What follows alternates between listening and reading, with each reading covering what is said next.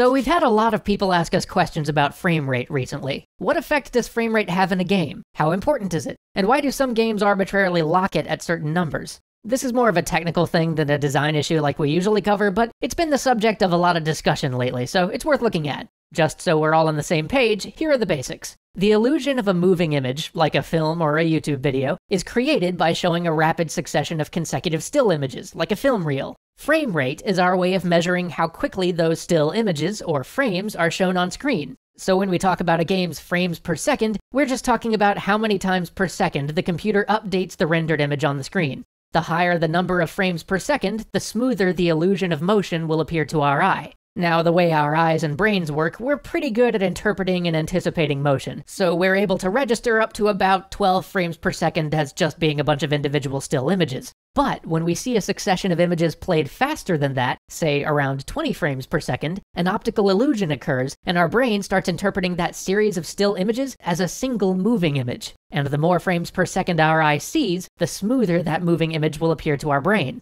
So when you see a game's video seem to stutter or pop or lag, that's the frames per second dropping low enough that your brain realizes it's not actually continuous motion it's seeing, but rather simply a series of very quick still images. Now, by the end of the silent film era, filmmakers had settled on a standard of 24 frames per second as their default playback rate, for several reasons, most of them economical. What's interesting about this, though, is that 24 frames per second is actually a pretty low frame rate, and the relatively slow speed at which the film camera records images compared to the continuous movement of the real world results in motion blur. And what's really fascinating is that all of these little artifacts like motion blur that come from shooting at 24 frames per second have become part of what we visually understand as the feel of cinema. If any of you saw those high frame rate screenings of the Hobbit films and thought that it looked a little weird, it's because those were shot at 48 frames per second. The funny thing is that these high frame rate screenings actually showed a more accurate, crisp representation of what the cameras had filmed. Recording the action at 48 frames per second ensured that the motion on film would feel more like what the motion had actually looked like on set, at least more than other movies but there's something stylistic about the look of film at 24 frames per second that has been so powerfully ingrained in our culture that even though the high frame rate versions of the Hobbit movies were more technically accurate, the result was kind of off putting to a lot of people. It just felt weird. Now, over time, cinematographers will start to figure out artistic tricks for making 48 frames per second feel more right, and we'll start learning what sort of video content looks best at higher frame rates. Sports broadcasts, for example, tend to feel great with that realistic, I feel like I'm actually there quality. For right now, though, at least when it comes to cinema, the feel of 24 frames per second is what we know and love. So much so, in fact, that many video games go to great lengths to fake having some of those cinematic artifacts, even when running at much higher frame rates. This is why you see so many AAA games putting development money into making sure that they have stuff like motion blur. But 24 frames per second is still a little bit low, so for video games, we generally aim for a minimum of 30 frames per second. Anything lower than 30 frames per second starts to look a little choppy, and in fact, it'll actually feel slightly worse to control. Because games are an interactive medium, and as a player, you're actually trying to react to the images on screen, we're a lot more sensitive to frame rate differences in games than we are in passive media like TV or film. When that troll in the Fellowship of the Ring movie swings a club at the screen, your brain's not trying to calculate which way to dodge like you would be if you saw a troll take a swing at you in a game. Having to interact with the moving image on screen suddenly puts a lot more emphasis on fidelity of motion. And on top of that, frame rate also impacts how many milliseconds it takes for the image on screen to appear to respond to your button presses. So if the frame rate drops too low, it can have a significant impact on how responsive a game feels to control. This is why some players, especially pro players or people who've been gaming for a long time, can feel a difference between something running at 30 frames per second and 60 frames per second, especially for action oriented games. Not everybody's as sensitive to that difference, and some games benefit from the higher frame rate far more than others, but when your mind is trying to make split second decisions and you're really in tune with the game, that increased fidelity of motion can be pretty nice.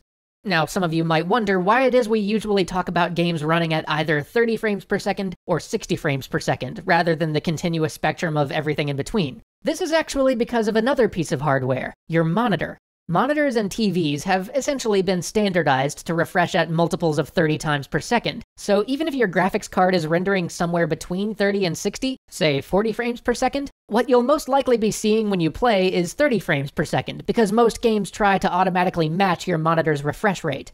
If you're a PC player, you've probably noticed that VSync toggle in your options menus. Turning vertical sync off essentially just means you're decoupling the number of frames your graphics card is rendering and how quickly your monitor refreshes. But desyncing the rates at which your monitor and graphics cards are trying to do things can give you some strange results, like screen tearing, so VSync is usually on by default. Anyway, this is why we usually talk about frames per second in multiples of 30. But that's not to say that getting 45 frames per second out of your graphics card is meaningless, or that trying to squeeze a slightly higher frame rate out of your game during development is wasted effort. Because even if you can't quite hit that 60 frame per second mark, getting the game to run above the 30 frames per second line means that if there's ever a dip in the game's performance for some reason, or if there's ever some part of the game that has to render more than you expected, or if there's some other task that hogs the GPU for a moment, your player won't even notice because, thanks to the monitor refresh rates and VSync stuff I mentioned before, the drop from 45 to 30 frames per second is essentially invisible. This leads us nicely to the next question. Why do some games come out on PC locked at 30 frames per second when many players' rigs might be capable of running the game at much higher frame rates than that? This could be for a couple of reasons, neither of them good, but eh. Most often, it's because there are contractual agreements in place dictating that the developer is not to release a materially different version of their game on PC than on consoles. So if modern consoles can only run that game at 30 frames per second, that's what PC gets limited to as well. Yeah, it sucks, I know.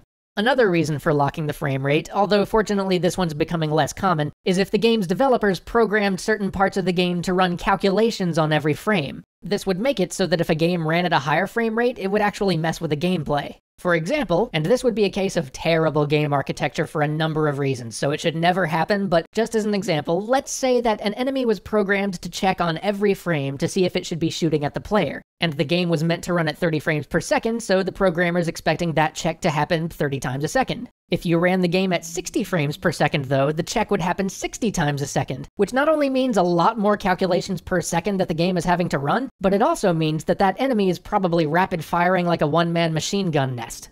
Now, there's been some contention in recent years over certain games being locked at 30 frames per second for aesthetic or performance reasons, and whether or not 60 frames per second should be considered the accepted standard. Ultimately, it's a complicated question to answer. Rendering twice the number of frames per second means literally rendering twice the number of pixels, which is a pretty significant demand on processing resources. For that reason, getting a game to run at 60 frames per second on consoles or a mid-range PC can be really challenging, and almost always requires significantly reducing the density and complexity of the game's other expensive processes, like graphics, lighting, physics, or even AI.